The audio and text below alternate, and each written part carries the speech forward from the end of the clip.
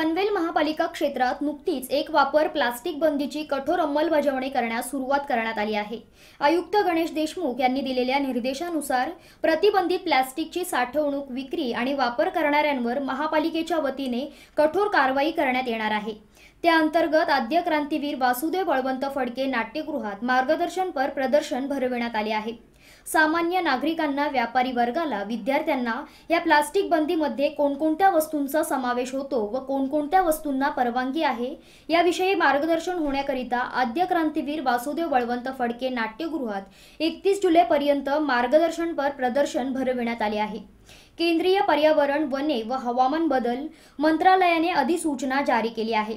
तसेच एक जुलै दोन हजार बावीसपासून एकल वापर प्लास्टिकचे उत्पादन आयात साठवण वितरण विक्री आणि वापरांवर बंदी असणार आहे.